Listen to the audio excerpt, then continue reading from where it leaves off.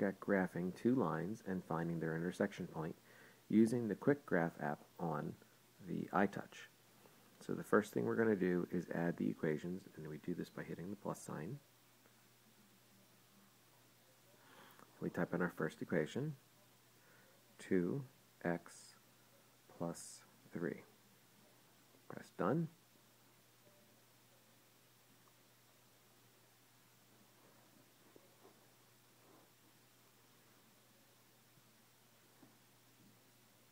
We got our first line.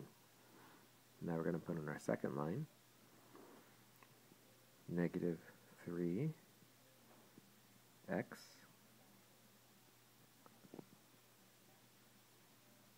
plus 1.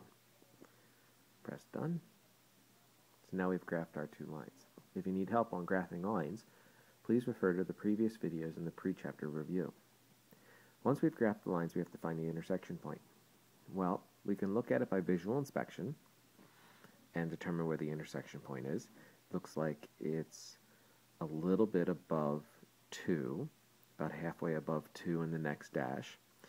And on the left-hand side, it looks like it's to the left of 0, right about negative 1. Now we can also find the exact intersection point using Quick Graph by just pressing our finger on the intersection point and holding and moving our finger so it looks like it's close the intersection point, then letting go, and it looks like it's at negative, um, 4.085 and positive 2.225. So there's our intersection point. Now remember, this is a guess. When you're graphing, you're just guessing the intersection point. You don't need to get it that exact. And as you can see, it doesn't exactly line up.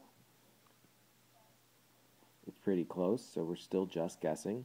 We're going to find a better way of doing this using uh, some algebra in order to find the exact intersection point.